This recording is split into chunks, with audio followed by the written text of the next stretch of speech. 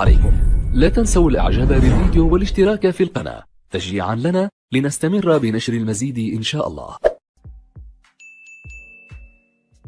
قطر 2022 معنا الآن في الاستوديو المطرب الفنان عايل نرحب به وأيضا نرحب بعازف الطبول اليمني ملاطف الحمادي. صباح الخير أهلا بكم معنا في الجزيرة هذا صباح الصباح. النور. يا مرحبا أخوي خالد أختي حنان. شكرا لإستضافتكم. صباح الخير وحياكم الله. طبعا. حياكم. أغنية أيضا قدمتموها لزوار مونديال قطر 2022 حدثونا عن فكرة هذه الأغنية كيف جاءت وما مدى تفاعل الجمهور معها اليوم؟ والله الفكرة طبعا فكرة شخصية. أنا يعني جاتني فكرة إن وايد متفاعلين المشاركين وغير المشاركين. فالحمد لله الأجواء كانت جدا جميلة. طيب ملاطف حدثنا عن الأجواء. كنا شاهدنا تفاعلك الكبير مع الأنغام والموسيقى مع أغنية حياكم. حدثنا عن الأجواء التي عشتها خلال هذه والله بسم الله الرحمن الرحيم. اولا أشكر استضافة يعني مع الحبيب الغالي عائل. الله يحفظك. آه، ان إحنا قدمنا مع هذا. وكان التفاعل آه، حلو جدا. وكان مع ال- الالغام حق الأغنية ومع إن إحنا نجحنا في التنسيق بإذن الله. وكان عمل جيد جدا والله.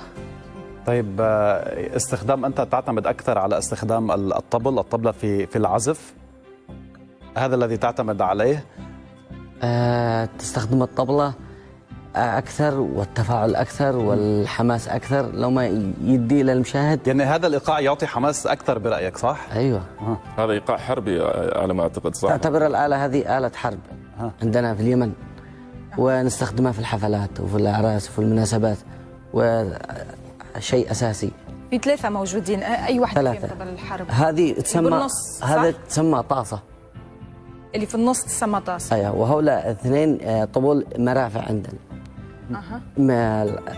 آه، الجلد حقها بلاستيك تعزف عليها صوتها يعني عالي. قوي. عالي أيوه قوي تستخدم للحفلات أعراس مناسبات الأعياد كان زمان هي آلة حرب. جميل. طيب عندما نتحدث عن الأغنية والرياضة ودور ال- الأغنية في الرياضة ما الذي ما هو الأثر الذي تتركه الأغنية في عالم الرياضة؟ وإلى أي مدى تساعد على نبذ التعصب والعنف إلى حد كبير أحيانا؟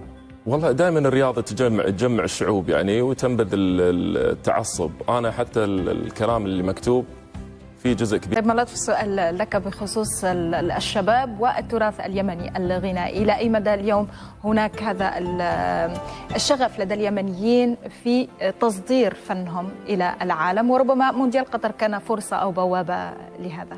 آه، اولا تراثنا هو لحد الآن حي واليمن غنية بالتراث وتضاريسها وثقافتها والتضاريس الجغرافي يتعدد آه، ألوانه من التراث. في عندنا ألوان الخيرات الجبلية والصحراوية والسواحل وألوان كثيرة من التراث. وأكثر بلد هي اليمن المشبعة بالتراث.